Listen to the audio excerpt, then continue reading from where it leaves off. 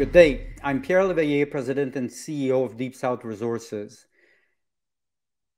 Yesterday, Monday, July 10th, 2023, we announced that we have that the Ministry of Mines of Namibia has renewed the license over our uh, uh, Haib copper exploration project.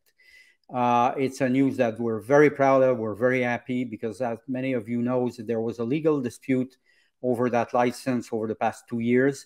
Uh, it has been resolved through a court case, but after that, the uh, Minister of Mines uh, was very diligent to uh, uh, renew the license timely, which they did. It's it so now it's done.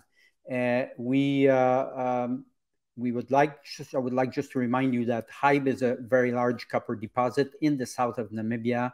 We're talking about of about five billion pounds of copper in situ in inferred and indicated resources. Uh, it's also amenable to uh, uh, heap leach technologies that enables to mine, extract the metal at low cost and low capex. So it's a very large, very huge project. And in the current copper market, it certainly fit the bill for you know the need of uh, uh, large copper uh, project to to start production eventually.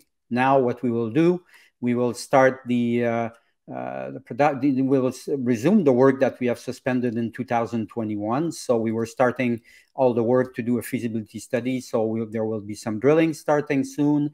There will be metallurgical test work bio heap leaching test work with uh, in australia that will resume early september.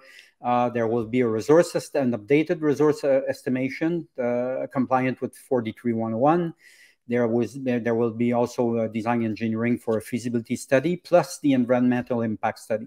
All of this will form the feasibility study and the uh, uh, environmental impact study will serve to apply for a mining lease, hopefully within two years to maximum three years. So uh, we're very excited. We uh, it's a project we like a lot. It's a very uh, large deposit and uh, stay tuned because uh, there's a lot of news coming on the project very soon.